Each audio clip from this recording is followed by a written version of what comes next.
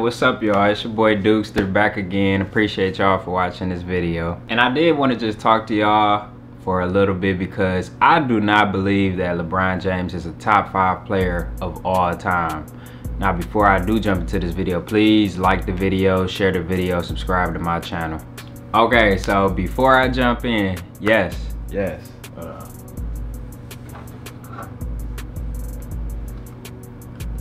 Yes, I do have this in my apartment. Um, this is supposed to be LeBron. It looks nothing like LeBron at all. Like, he looks so angry.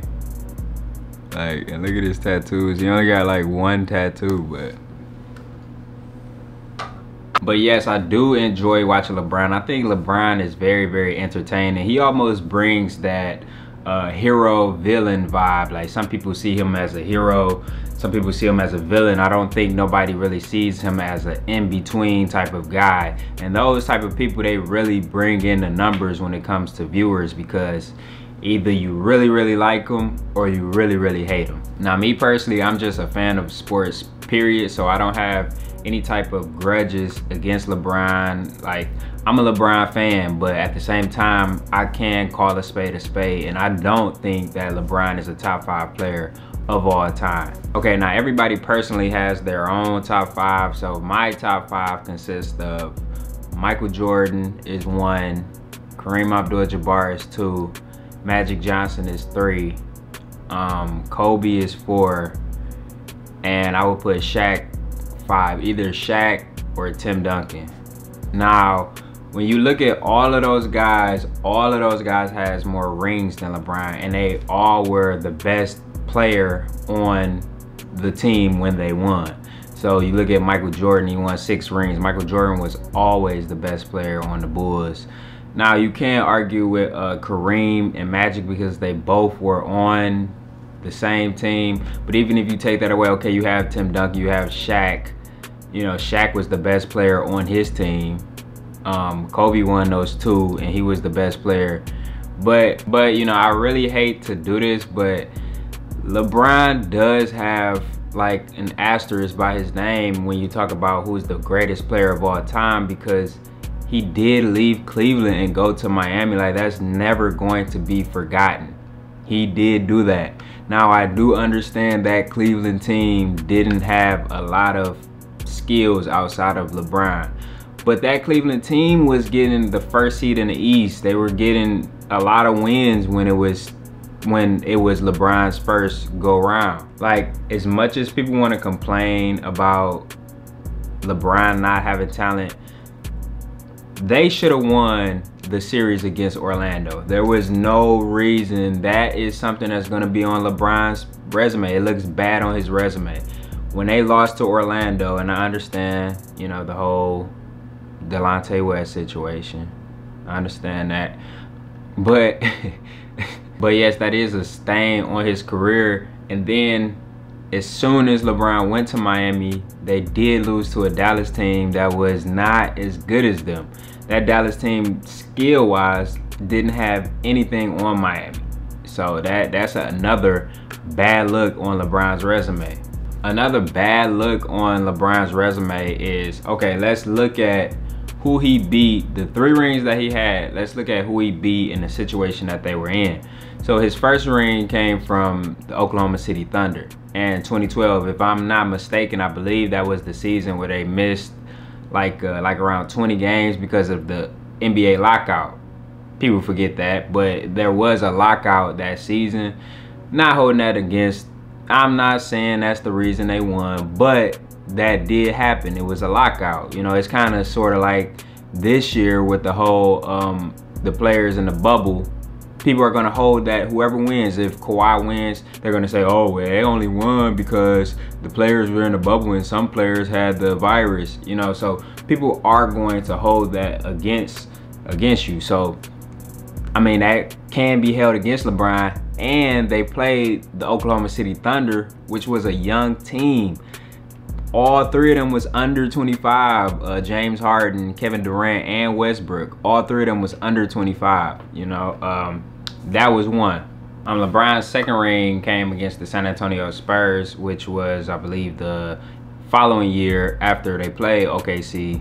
I think it was the 2012-2013 season where they played against the Spurs and the Miami Heat wasn't supposed to win that series either. I mean, Ray Allen did save LeBron's legacy right there with that one shot because Danny Green was on fire. Kawhi was just starting to come into his own, and then you had the big three with Tony Parker, uh, Manu, and Tim Duncan. So LeBron wasn't supposed to win that finals right there. Then LeBron's third ring was against the Golden State Warriors. That was the 72 and 10 Golden State Warriors. That was the Warriors that was up 3-1 on the Cavaliers. Let's be honest, y'all. LeBron wasn't supposed to win that series. Draymond Green, he was uh, suspended the game where he, you know, did like that to LeBron and looked like he tried to do the same thing where he was out there kicking people, you know, and a midsection. And um, yeah, LeBron ended up winning that game. And they weren't supposed to win that series. I know Kyrie hit the big shot, but the Cleveland Cavaliers wasn't supposed to win that series. I believe if Draymond did play, they would have kept that momentum going. But by Draymond getting suspended, it kind of slowed the momentum down. And yes, LeBron did have 41 the game that Draymond was suspended. And then when Draymond came back, I believe LeBron dropped 40 again. So yes, LeBron did ball out, but I think the momentum kind of shifted when Draymond got suspended. So in my eyes, in my opinion, there is an asterisk by that finals right there also. Now, to be fair, I think all the great players had to stumble upon some type of luck to win the number of championships that they ended up having. You know, so if it was a fifth, yeah, we'd all be drunk. So LeBron did stumble upon some lucky situations that caused him to have those rings, but he didn't. The 2012 season against the OKC Thunder is probably the only season that he just straight up just went and just dominated and just won. The rest of the other two rings that he have is very questionable. He could have easily lost those series. And then when you get in the business of comparing him to greats like Michael Jordan, like uh, Kareem, like Magic Johnson, Kobe, Tim Duncan, Shaq, these is guys who have five rings. LeBron has three. Yes, LeBron has the stats. I understand that. LeBron may end up, well, not, well, now that everything went down with this whole season, he may not be the uh, scoring champion over uh, Kareem Abdul-Jabbar. I don't think he's gonna pass him up, but LeBron was definitely on pace to pass him up. He's gonna be top five all time in assists. He may be top five all time in rebounds. You know, so LeBron statistically is a monster, but people hold high regard when it comes to rings, when it comes to you being successful in the finals. People hold high regards and LeBron he struggles in the finals. I do want y'all to understand that this is not a I'm bashing LeBron type channel. This is not a I'm bashing LeBron type video because I actually like LeBron. I like his gameplay. Um, I think from what he got from when he was younger to where he couldn't shoot and now every time I see him he's knocking threes down. You know, he's better now that he blows his hands and shoots the free throw. Now he's doing better at the free throw line. I actually like LeBron's game. I'm not bashing LeBron, but he's not in my top five. And he wasn't even in uh, Kenny Smith's top 10, I believe. I don't think Kenny Smith put him in his top 10. He's in my top 10, but I don't think Kenny Smith even put him in the top 10. But that's just my short opinion on LeBron. Um, he's in my top 10 but he's not in my top five. But I appreciate y'all for watching. Please like the video, share the video, subscribe. Thank y'all.